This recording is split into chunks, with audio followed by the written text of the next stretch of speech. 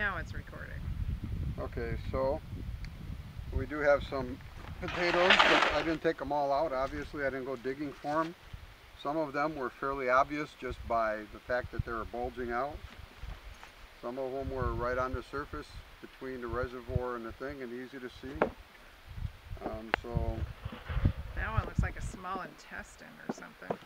Yeah, well, this one looks like a brain. I think this was the smartest planter that there was. This one and this one. This one had dirty mind though. You know, they also look like other things, so Yeah,